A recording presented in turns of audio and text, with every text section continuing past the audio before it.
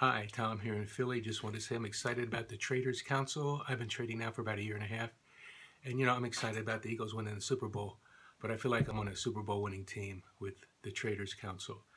Um, you know, you date, uh, my wife, and I dated a lot of women until you found the one. And we've been together now over about 21 years. So it's like I looked at a lot of different programs, a lot of different mentors and different uh, trading styles and different gurus and it just feels really comfortable with Jeff Williams and his team here at the Traders Council. So uh, you can't go wrong, I don't think. It's really comfortable, a lot of information, very great support, and I've really upped my profitability just in the last few months being with Jeff Williams and his team at the Traders Council. So Tom and Philly saying take care, God bless. See you at the top. Bye for now.